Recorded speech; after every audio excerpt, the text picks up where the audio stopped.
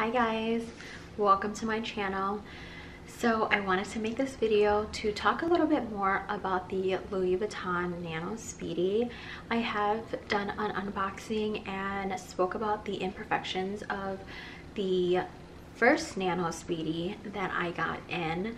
And i did tell you guys that i had decided to keep that bag because i had been looking for it for over a year.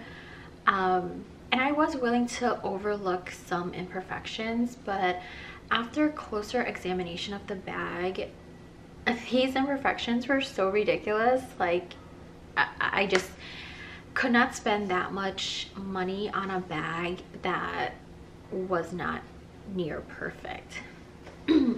I'll insert a picture here so that you guys can see what I'm talking about, but it was definitely not it did not look good. I, I was embarrassed at the quality that I was getting. As you can see in the photo, one side of the bag looked okay, the other side was really, really bad. And the way that the piping was stitched, it actually made the bag tilt to one side when it was just sitting on like, let's say a table. The zipper was also not straight and had kind of like a zigzag wave to it. So a couple days ago, I did decide to return the bag. I wasn't even interested in looking at any more nanos um, because a couple weeks ago, I did go to the Louis Vuitton store in Costa Mesa and at that point I had already decided that I was going to keep my nano bag but I was going in to go shopping for a multi-pochette. But because I was there, I asked the associate, like, you know what, can I see a couple of your nanos just to compare um, how they looked, you know, in comparison to mine. And she pulled out four and they were ridiculous. Like they were horrible, like worse than mine. So a part of me kind of felt like, okay, I got the best of the bunch, you know?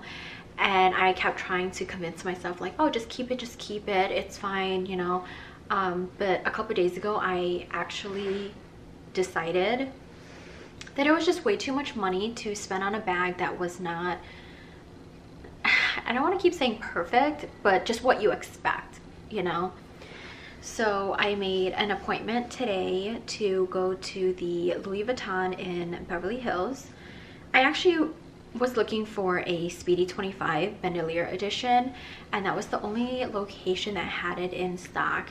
When I was in Costa Mesa, I did ask them for it and they didn't have any of the, um, they didn't have any in stock, like any of the prints, any of the three prints that it comes in.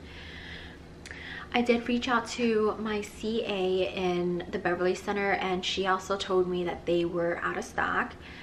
Uh, when I called into customer service, they told me that there was a limited quantity at the Beverly Hills location. So in my mind, I was like, I'm returning the Nano Speedy. I'm not even interested in looking at any more Nanos.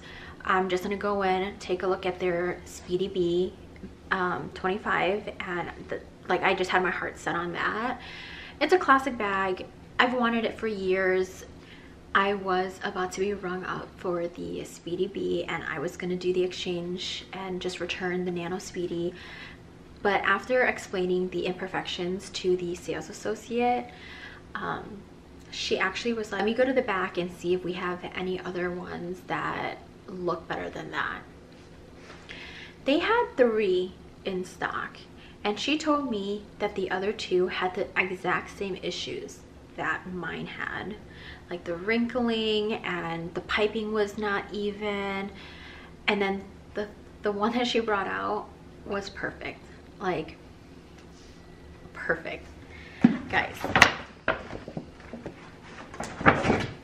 So i'm going to show you guys. I'm going to do the unboxing.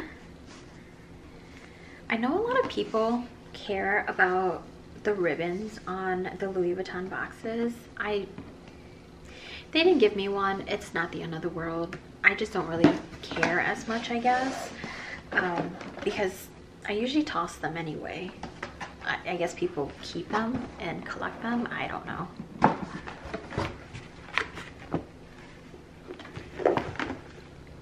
Okay, I'm so excited to show you guys.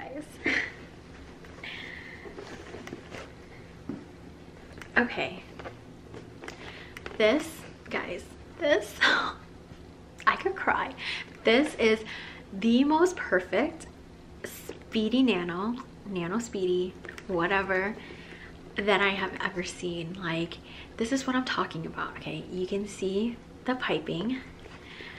Look at how perfect that is.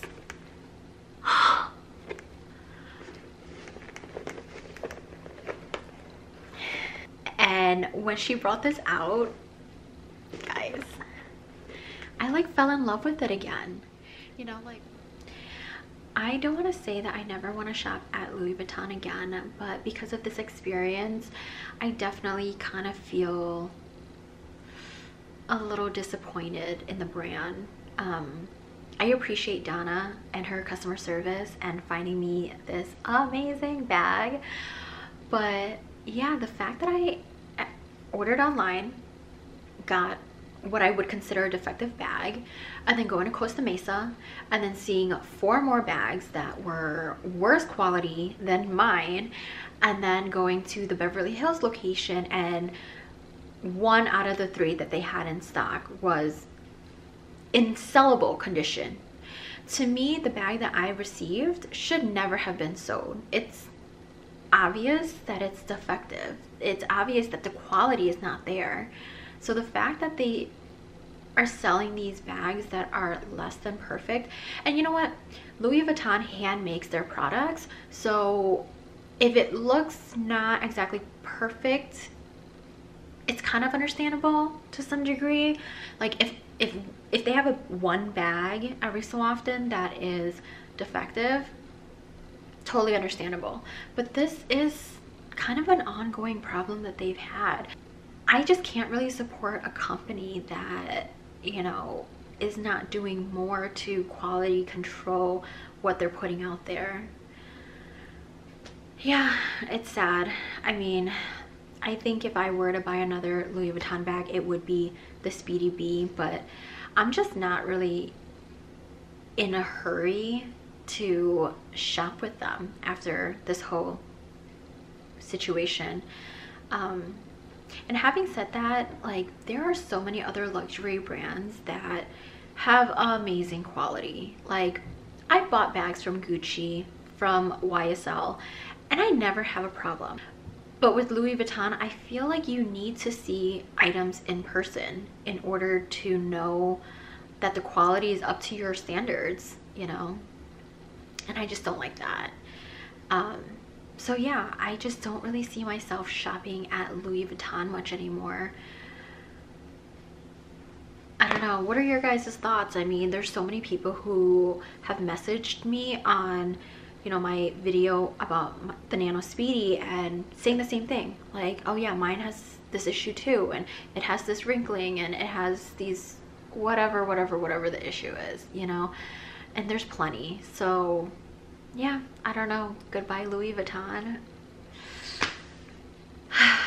anyway, um, if you guys have any questions for me, leave them down below. See you next time. Bye.